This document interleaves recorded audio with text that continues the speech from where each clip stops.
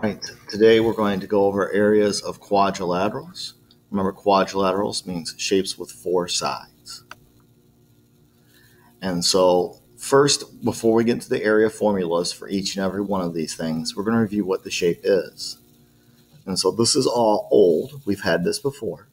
A parallelogram is a quadrilateral with two sets, right? Two sets or two pairs of opposite sides parallel.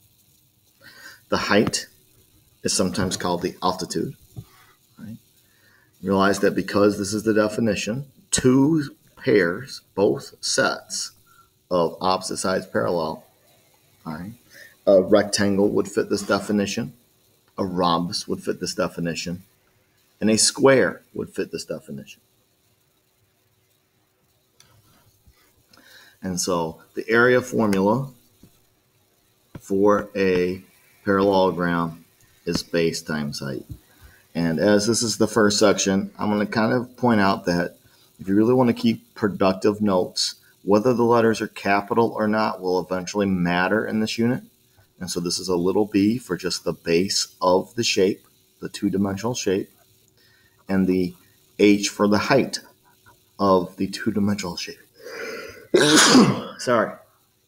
And uh, A, obviously capital A for the area. Um, and so you're just going to do the base times the height. Now, how are we going to make this harder than when you started learning area of rectangle in elementary school? Right? And so the book is going to do things where they put maybe the dashed line on the outside.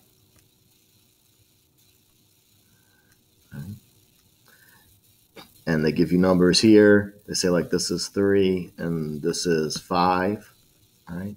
And this is the height here. Right?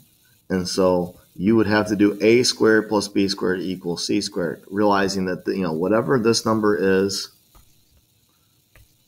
here is still the base, just from there, not this added three, and that this number matches the height and the inside, and so that's the base and the height.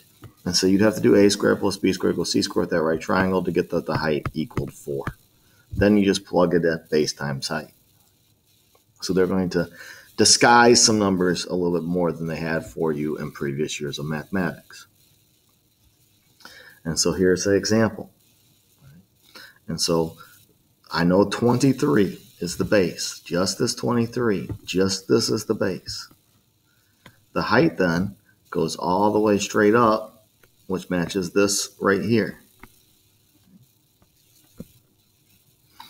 And so to find that height, I have to do a squared plus b squared equals c squared. Again, c has to be the hypotenuse.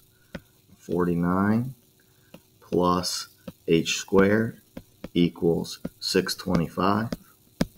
So when I minus 49 both sides, I get 576. I would then square root both sides square root, square root. And I get h equals 24. And then so for the area, the area would be the base, 23, times the height, 24, or 552. And now units are going to matter in this chapter, this unit, this module. Feet squared. It's feet times feet, so feet squared. Should check my math here. I did that in my head instead of using a calculator. And I did get it correct 552. So that is the correct answer for example one. And so you try. The thing that is tricky with this is that you might want to redraw it so that that height goes straight up. So now I know the height is 5, straight up. So I might makes it easier on your brain. The 4 would be over here, the 10 would be over there. What number is meaningless? Yes, the 4 is meaningless. And so you're just going to have the 10 and the 5, base times height, area equals 10 times 5 or 50 inches squared. Sorry, always remember the unit in this chapter. Next, we have these special cases. And I just call them special cases because I don't want to argue with kids in class. All right. And so you probably learned this as area equals length times width, which is exactly the same thing as base times height. So I'm always going to say base times height. If you say length times width with a rectangle, that's fine. All right. It's no different. With a square, all of the sides are the same. And so I will still say base times height. But if one side times one side makes one side squared, that formula some people learned. That's just as good. They're the same. So those are both true. There's also the rhombus has a special case we'll talk about eventually, but area equals base times height works for them as well.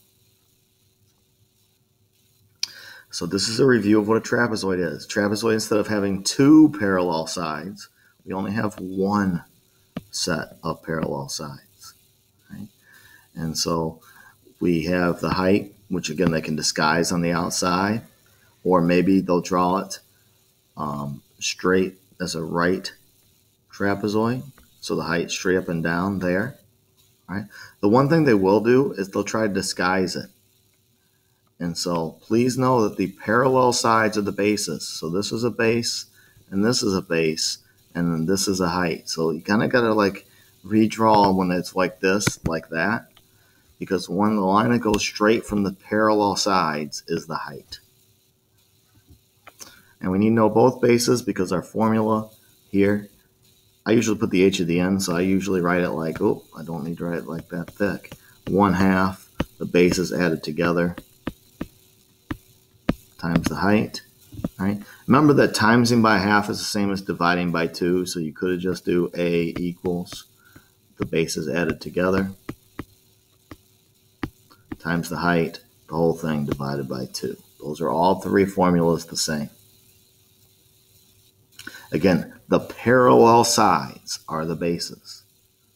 Right? Have to be the sides that would not touch. The parallel sides of the bases. And so for this example here, Andrea needs enough mulch to cover the garden, right? And one bag of mulch covers 12 square feet.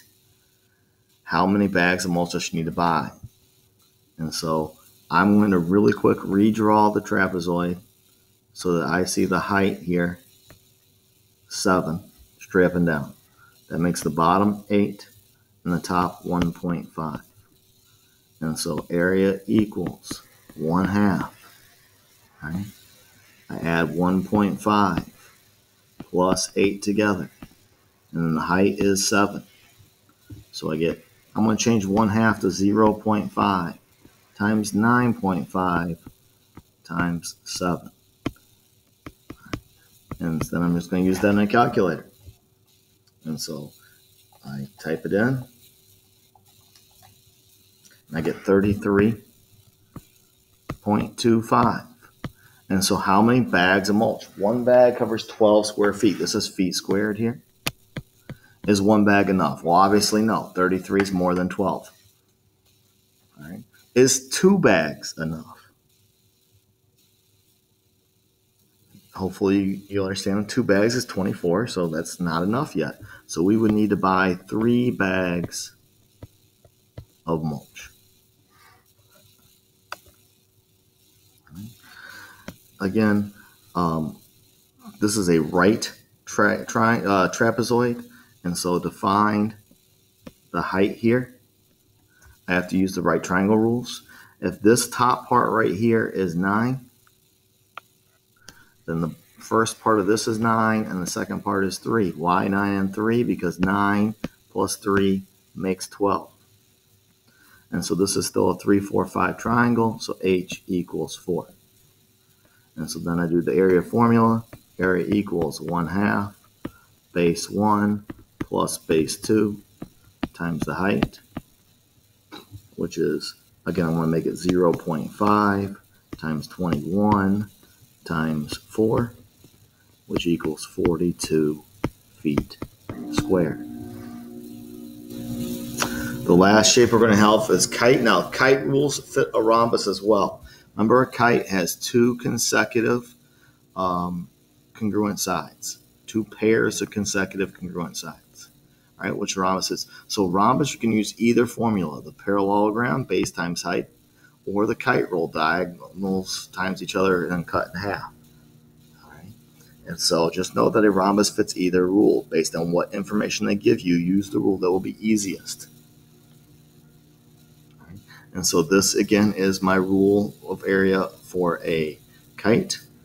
Sometimes people like to write it as diagonal times diagonal over 2.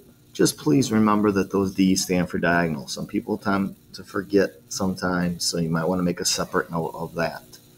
All right, but the area is 1 half diagonal 1 times diagonal 2.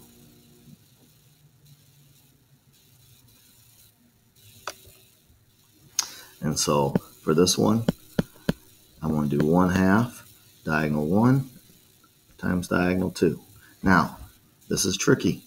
This 6 is with that dash. So this one down here is also 6. And so the whole thing is 12. This is also then 7. And so the whole thing here is 14. Right? So that's how I'm going to type it into my calculator and I get the area is 84 millimeters squared.